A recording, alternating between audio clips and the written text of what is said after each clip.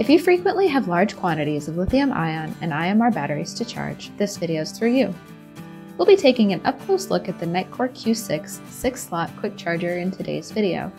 Providing six independently controlled slots for charging, the Q6 offers up to 2A charging speeds for a wide variety of popular battery sizes such as 18650, 16340, 14500, and even 26650s. The Q6 is a revolutionary upgrade for IMR batteries. By monitoring the charging progress throughout the entire process, the Q6 ensures a proper end voltage and helps extend the life of the battery.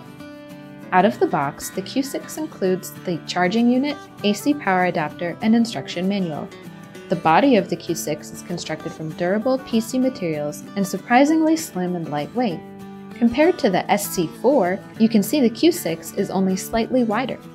After plugging the AC adapter into the unit and an available power source, you're ready to charge. A few quick notes about how the Q6 distributes power. The six slots are grouped into three pairs. When charging a single battery, you can place it anywhere and it will charge at 2000 mA or 2A speeds. If you add a second battery, you want to put it in a different pair group than the first to maximize 2A speeds. By adding a third or more additional batteries, the Q6 will continue to distribute the total charging output among the active bays and charge at these rates based on the number of batteries actively charging.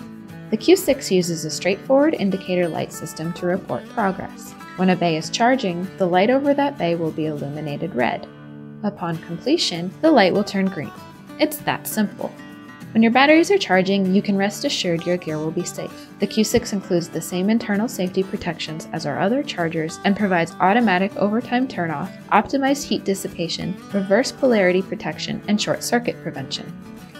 Here's a complete list of all the batteries supported by the Q6.